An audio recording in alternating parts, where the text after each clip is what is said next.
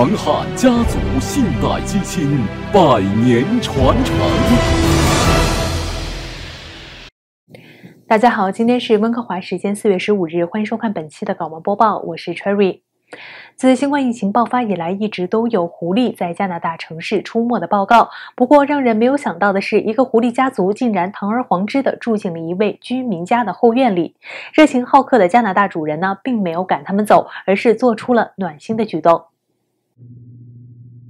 家住多伦多宜陶碧谷地区的夫妇杰尔·特兰布莱和凯特琳·达林顿都是医护人员。两周前，他们在自家后院的棚子下面发现了狐狸一家。一只雄性红狐，一只雌性黑狐，还有七只小狐狸幼崽，而且它们已经搬进来了，并没有要离开的意思。据特兰布莱回忆，当时他正在院子里干活，发现一只雌狐狸正在喂养它的七只狐狸宝宝。我就坐在工具桌旁观察了它们大概一个小时，然后看到它们开始从棚子里走出来，我这才意识到，原来它们已经在这里住下来了。我并没有过分担心，因为最近几年那个朋友下面也总会有一些浣熊或者是臭鼬出没。特兰布莱夫妇联系了多伦多野生动物中心及三幺幺寻求协助，得到的答复是：如果狐狸没有给他们制造麻烦，便不用太过在意它们。野生动物中心也建议，如果特兰布莱夫妇感到困扰，可以雇佣专业的公司将动物移走。不过，特兰布莱说，两只成年狐狸每天都会猎食，带回一些鸟、松鼠或老鼠喂给狐狸幼崽们。除了早上吠叫外，并没有给他们制造什么麻烦，甚至还能帮他们阻挡一些害虫。于是，特兰布莱和达林顿夫妇接纳了这些毛茸茸的不速之客，让他们在疫情期间有了一个容身之所。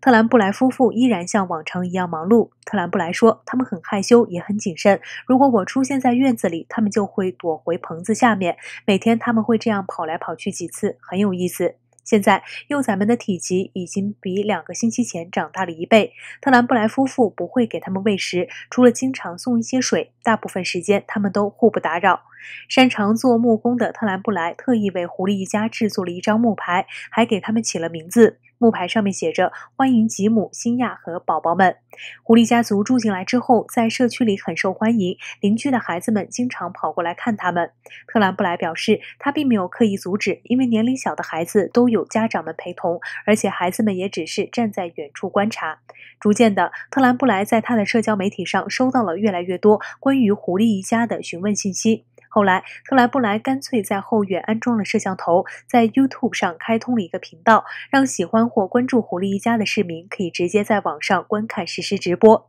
虽然暂时还不知道狐狸一家还会在特莱布莱夫妇家的后院逗留多久，但在他们主动离开之前，特莱布莱表示会保留这个直播账号，因为居住在安大略湖附近，该社区的居民并不觉得发现野生动物是什么稀奇的事情。而且，对于大多数加拿大人来说，与动物们生活在一个社区也早已习以为常。在加拿大，人被疫情困扰的时期，特兰布兰夫妇的做法实属暖心。希望狐狸一家的生活能够让人们得到疗愈。如果你或者你的孩子对吉姆、新亚和他的宝宝们感兴趣，想看看狐狸的生活习性，可以到 YouTube 频道 Fox Puppies Live 实时观看哦。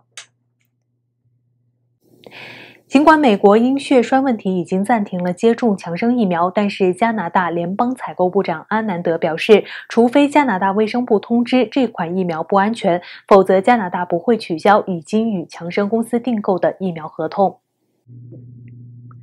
美国疾病控制与预防中心 （CDC） 委员会本周三四月十四日获悉，第七名女子在接种强生疫苗后出现罕见的严重血凝块问题。据悉，美国已暂停接种单剂量的强生疫苗。在此前，美国接种强生疫苗的六百八十万人中有六人出现了血栓，六人都是女性，其中一人死亡和一人病况严重。第七宗案例引起 CDC 关注的是，此人没有像其他六个案例那样是在大脑中发生血栓问题，这引发进一步。疑问，阿纳德说：“加拿大卫生部认为强生和阿斯利康以及辉瑞和莫德纳都是安全有效的，因此我们将继续采购这些疫苗，除非我们听到加拿大卫生部的不同意见，否则我们的采购工作会继续进行。”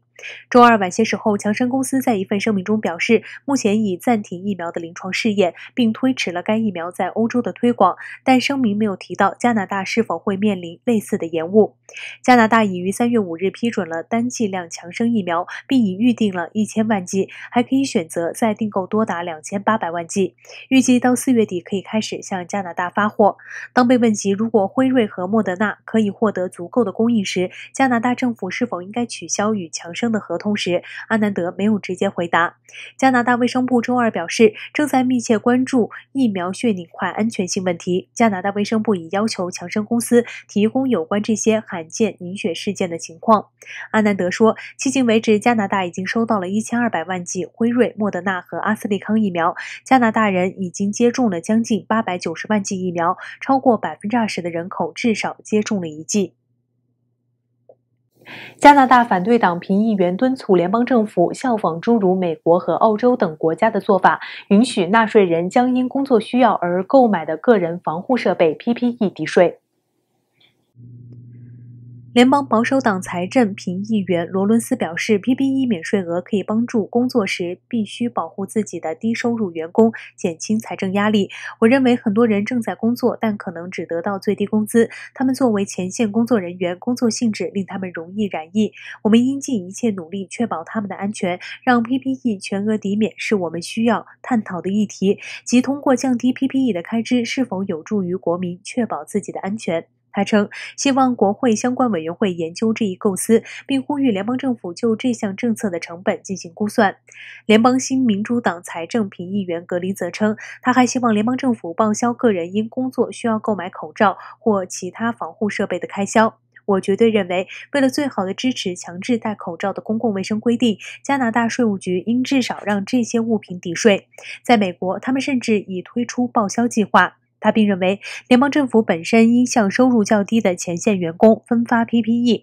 因为担心有些人为了节省金钱。会甘冒染疫风险而重复使用一次性口罩。税局指，纳税人可就 PPE 的成本申请医疗费用抵扣，但前提是有医生处方和特定的健康状况，例如严重的慢性呼吸系统疾病或严重的慢性免疫系统失调。口罩、面罩和搓手液等大多数非处方产品均不符合抵税标准。联联邦财政部称，当局通过免或免联邦销售税，让民众更容易负担 PPE 的费用。加拿大纳税人联盟联邦总监伍德里克则说，其组织支持减轻税务负担，但他认为有更简单的方法就可以做到，那就是税局将口罩列为合资格扣税的医疗费用。前不久，快乐肥宅水可口可乐才宣布，为了减少塑料对环境的污染，在未来将推出逐步推出纸瓶子，取代现在的塑料包装。然而，星巴克的手段比可乐更绝更狠，这条绿色人鱼连纸杯子都不想提供了，打算循环重复使用外带杯，而且用之前还得要先交押金。行动力满分的星巴克目前已经在它的发源地西雅图身先士卒地启动了为期两个月的戒杯试点计划。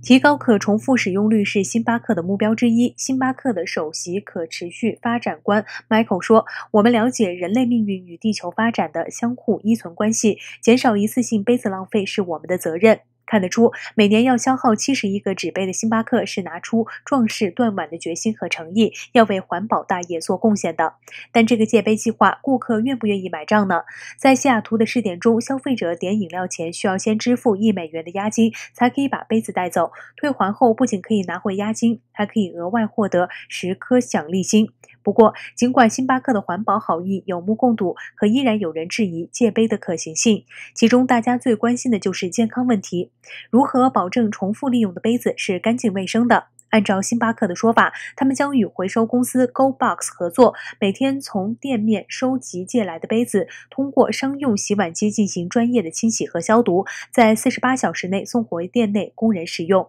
另外，星巴克也鼓励和提倡消费者自带杯子，可大多数人似乎没有随身携带饮水杯的习惯。况且，去年由于疫情的缘故，星巴克曾一度禁止顾客自带杯子，正是出于人体健康的考虑。所以，如何令消费者对杯子循环利用的卫生安全信服，或许才是最关键的。尽管每次星巴克的环保改革都伴随着争议，可不得不承认，它还是扛起了龙头老大该尽的责任和义务。作为个体消费者，有时候想身体力行地参与到环保公益活动中，也常常感到有心无力、杯水车薪。这时候，如果有星巴克这种影响力巨大的企业做出表率，推动大家在受到最小程度的改变下，潜移默化地把环保变成日常小事，也算是功在当代、利在千秋的一桩美事了。